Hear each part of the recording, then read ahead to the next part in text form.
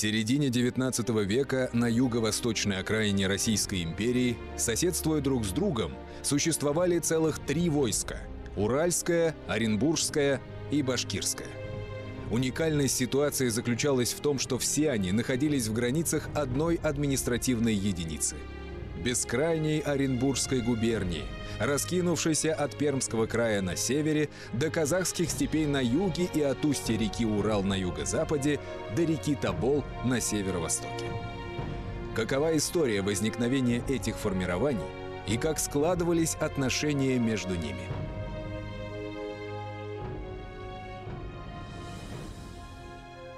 Прошлое Башкортостана невозможно себе представить не только без башкирского войска, но и без некогда сопредельных с ним уральским и оренбургским казачьими войсками.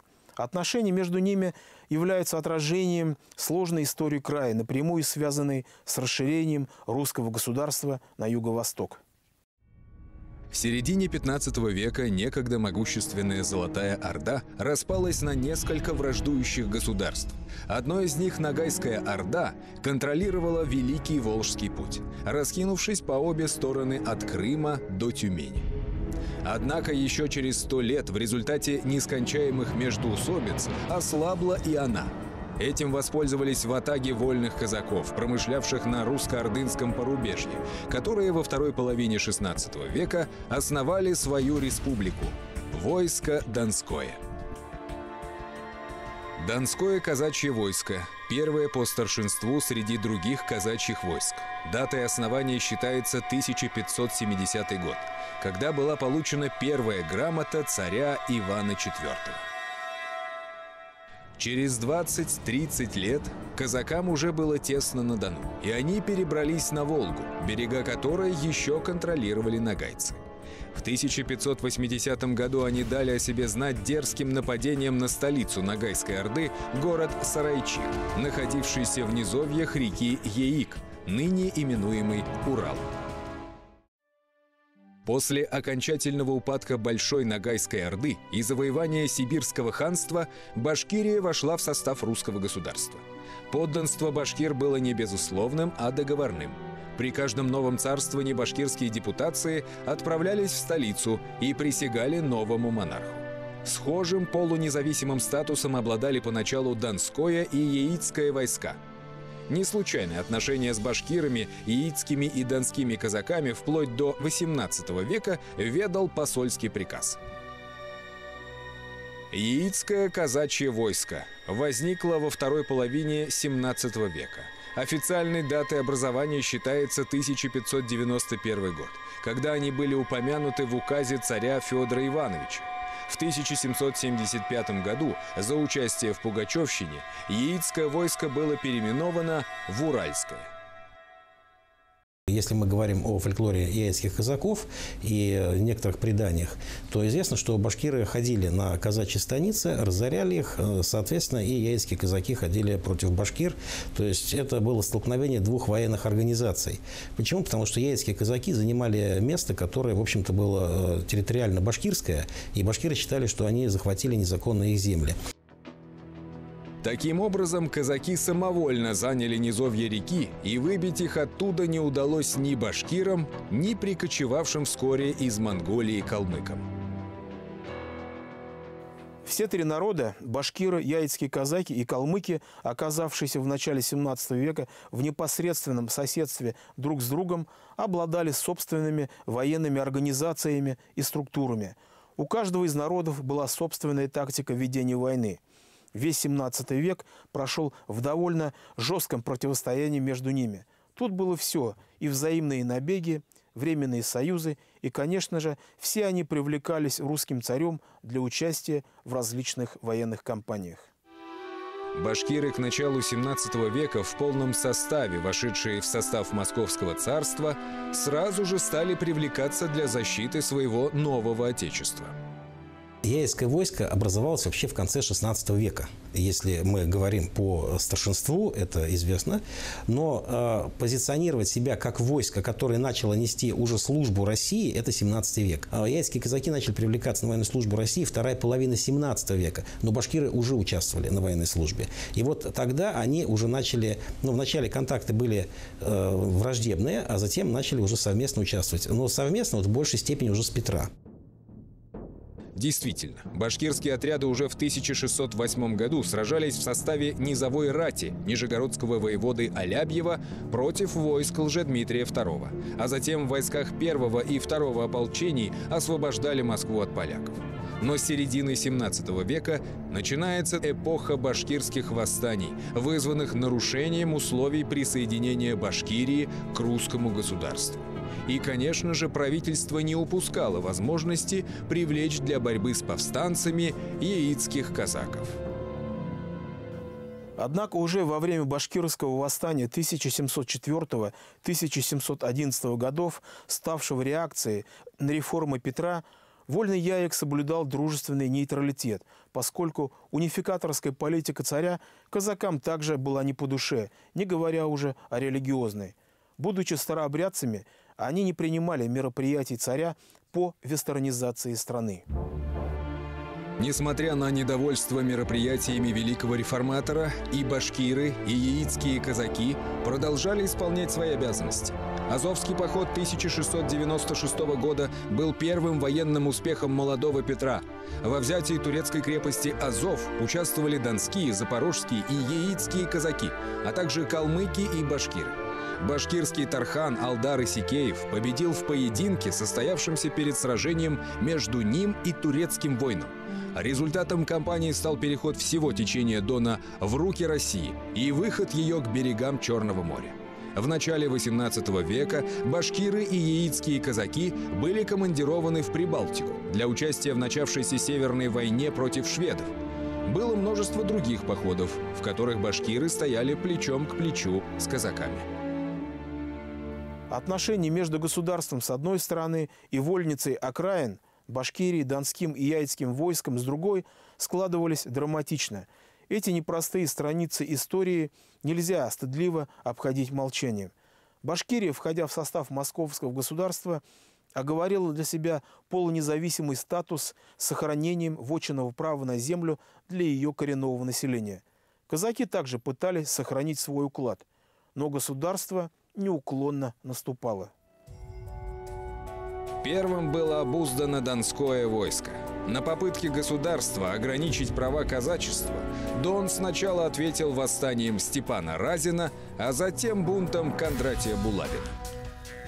Восстание Булавина. Казацкий бунт, шедший в 1707-1708 годах. Движение возглавил казачий сотник из Бахмута Кондратий Булавин. Между булавинцами и башкирами, также бунтовавшими в это же время, существовал союз. Летом 1708 года английский посол в России Чарльз Витворд докладывал в Лондон. Я уже сообщал вам о мятеже башкирских татар, который, собственно, находится в прежнем положении. С Булавином 36 тысяч человек, и он, Божьей милостью, состоит в союзе с башкирами, которые снова взялись за оружие. Однако вскоре восстание донских казаков было подавлено, Булавин погиб, а автономия донского войска была ликвидирована. Вскоре наступила очередь башкирской орды, как именовалась Башкирия в документах той эпохи. В 1731 году казахский хан Абул-Хаир попросил русского подданства, и вслед за этим была организована Оренбургская экспедиция – как Азовские и другие походы отрезали территорию Донского войска от заграницы Османской империи и Крыма, так и Оренбургская экспедиция отделила Башкирию от среднеазиатских ханств. Начало Оренбургской экспедиции вызвало мощное восстание башкирского народа, длившееся шесть лет – на его подавление были брошены большие силы правительственных войск, в том числе отряды нерегулярной конницы, две тысячи яицких казаков и несколько тысяч калмыков. По окончании мятежа началось строительство пограничной линии по реке Яик и города Оренбург. Была учреждена одноименная губерния, что потребовало организации нового казачьего войска. Оренбургское казачье войско было учреждено указом императрицы Елизаветы Петровны в 1748 году. Тем не менее, оно является вторым по старшинству после Донского войска, так как датой его возникновения считается 1574 год, год основания Уфы. Она определена указом императора. А, выбрана не случайно, а является как бы датой основания города Уфы как крепости. А, само по себе войско оно образовалось, конечно, немножечко позднее, но вот дата старшинства определено указом именно с этой даты, с даты образования города Уфы. Основой Оренбургского казачьего войска стал именно гарнизон этой крепости, который состоял из уфимских казаков, из алексеевских казаков, из исетских, они в дальнейшем а, образовали э, костяк Оренбургского казачьего войска. И волжские казаки тоже там присутствовали. Новое казачье войско изначально формировалось как многонациональное и многоконфессиональное, поскольку занимало башкирские земли, конфискованные правительством. В конечном итоге мы получаем Оренбургское войско очень разношерстным а в национальном плане, в этническом плане и в конфессиональном плане.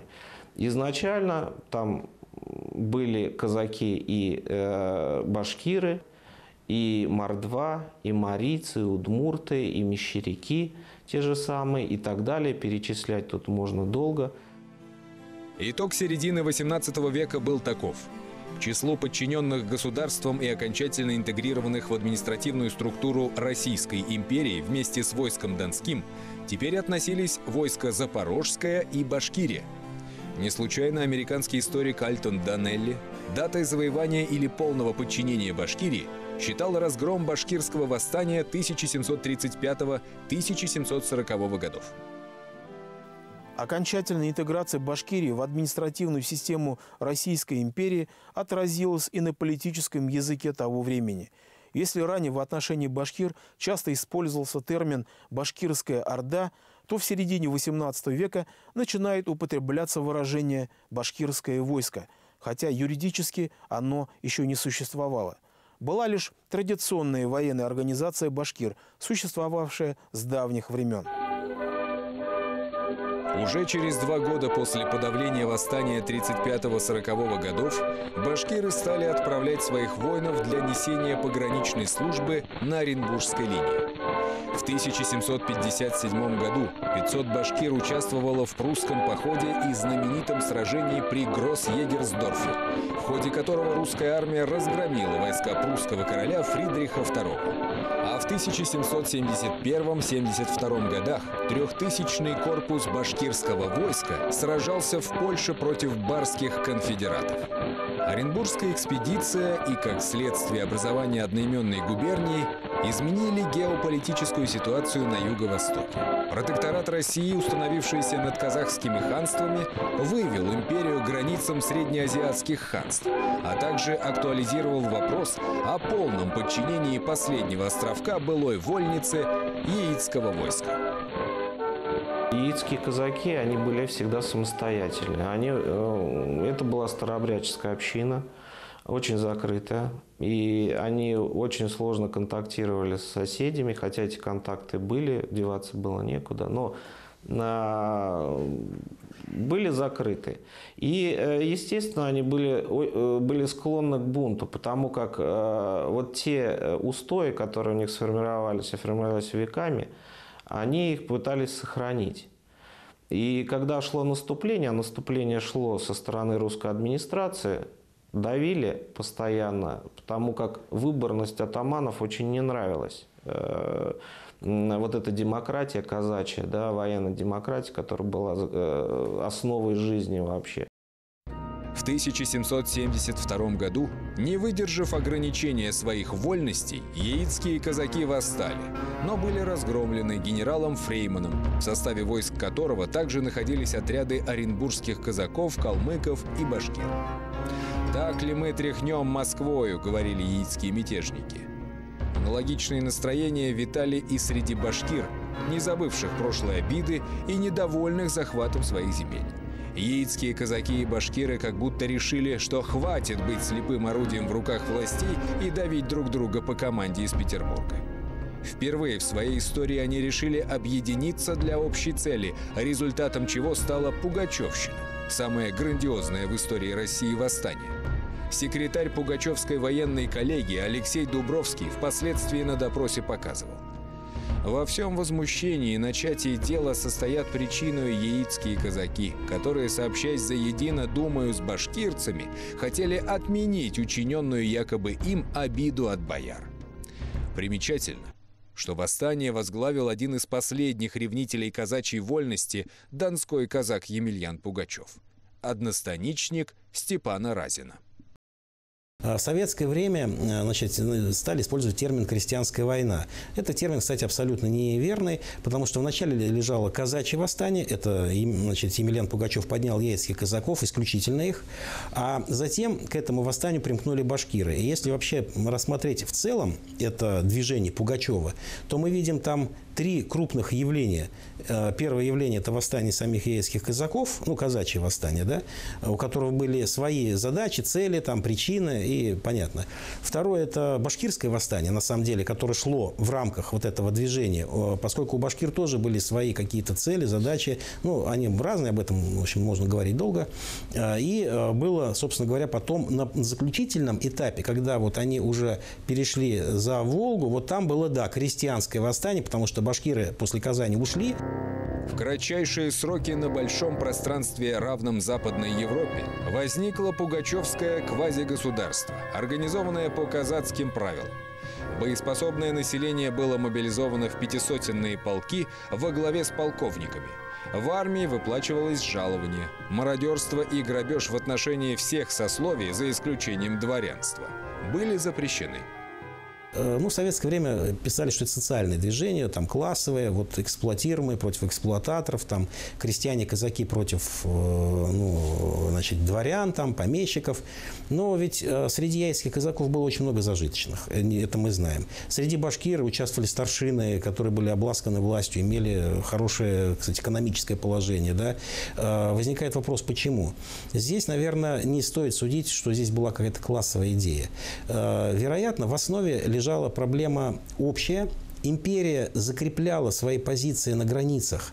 И она, э, то, что было раньше вольницей, которая могла служить, могла не служить, с которой надо было как-то договариваться, она пыталась эту вольницу, ну, в кавычках говорим, причесать, вот подчинить себе, сделать механизмом, который бы работал как регулярные часы. А так оно и получилось. В 19 веке все, казачество работало так, как прикажет ему уже Петербург. Там никаких вопросов вообще не было.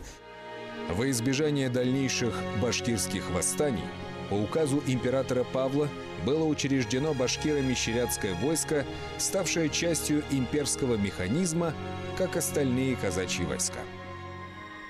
Башкиро-мещерятское войско.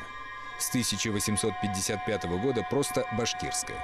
И регулярное национальное воинское формирование, существовавшее в 1798-1865 годах. Сегодня, когда идет бурный и довольно противоречивый процесс возрождения казачества, некоторые общественники и активисты выразили желание воссоздать башкирское войско XVIII-XIX веков, называя при этом его казачьим. И здесь возникает вопрос, было ли оно таковым?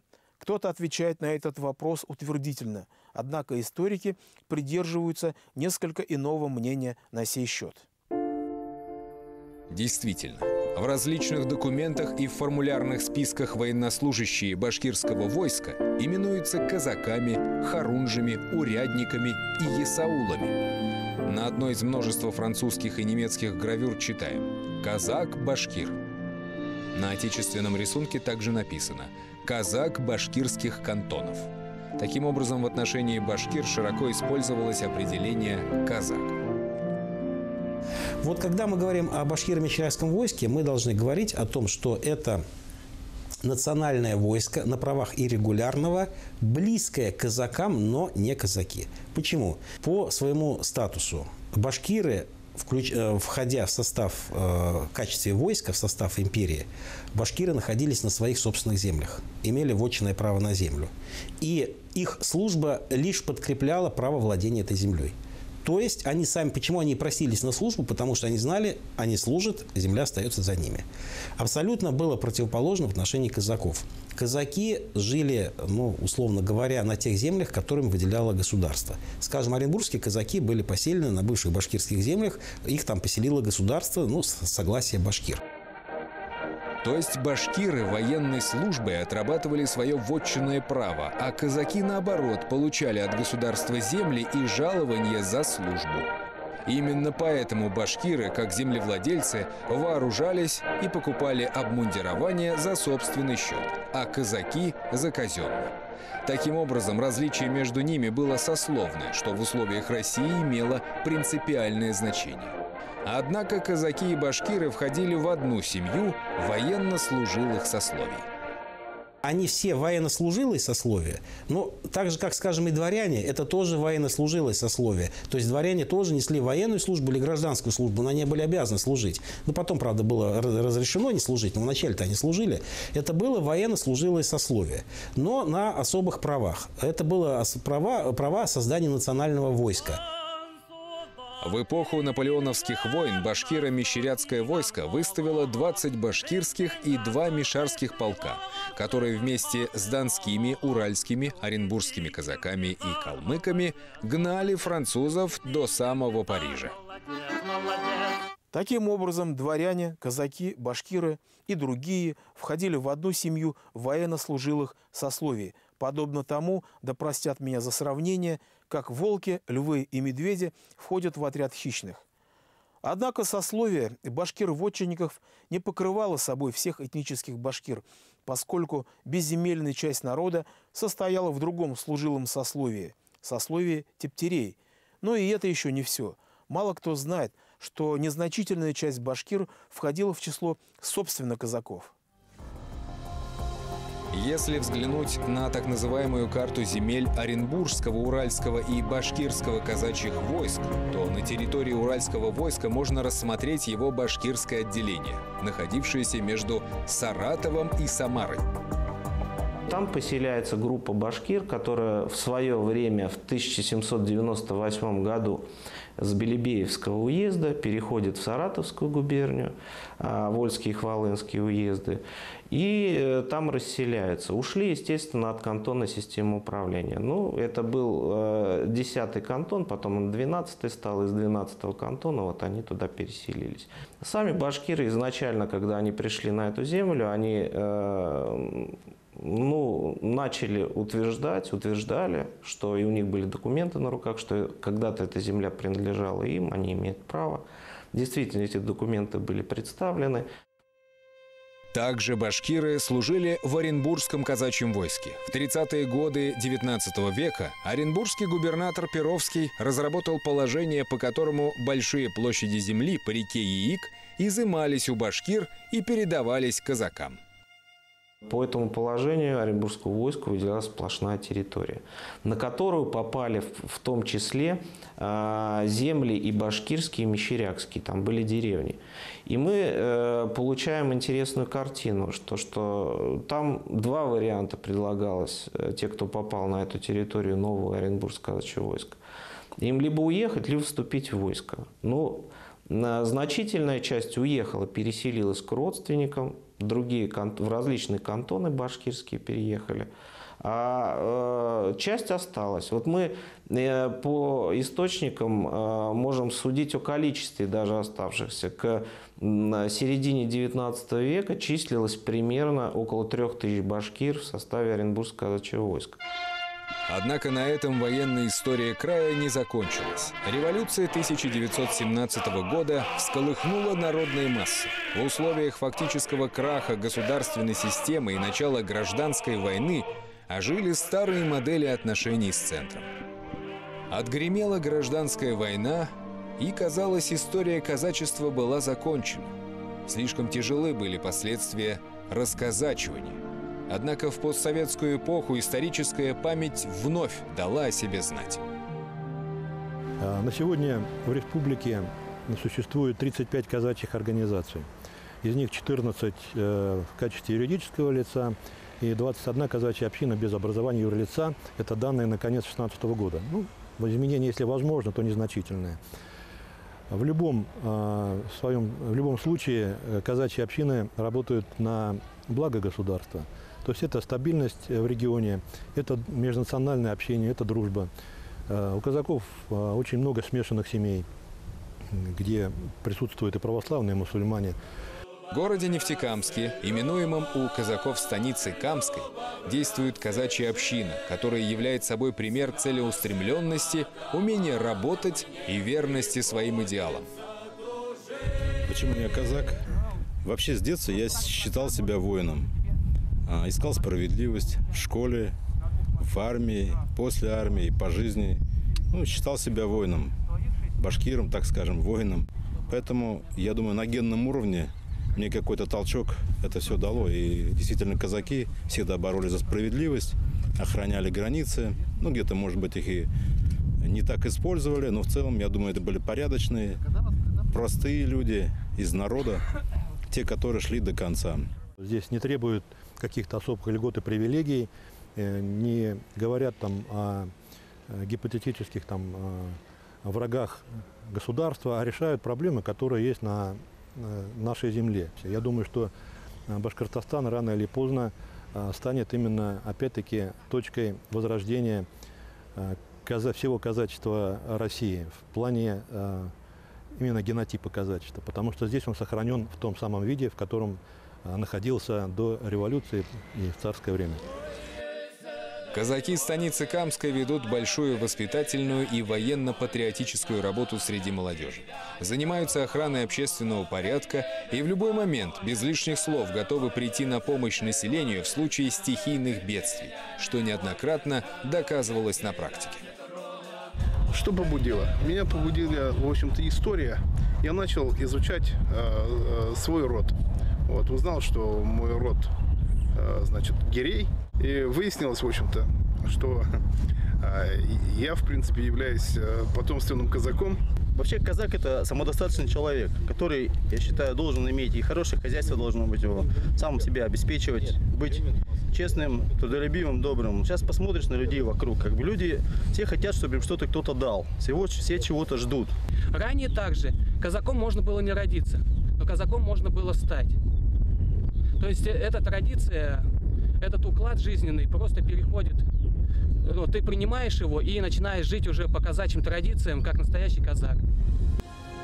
Башкиры и казаки прожили в непосредственном соседстве более 400 лет, взаимодействуя и влияя друг на друга.